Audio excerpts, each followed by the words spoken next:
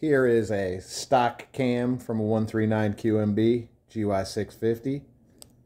Notice I've got that flat across the bearings and you can see there's a little gap at the lobe.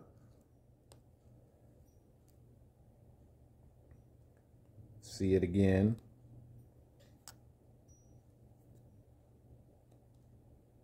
There. Now we're going to go ahead and show you an A9 cam.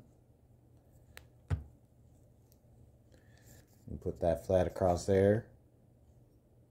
And notice that lobe is hitting my straight edge and actually lifting it up on the bearing side.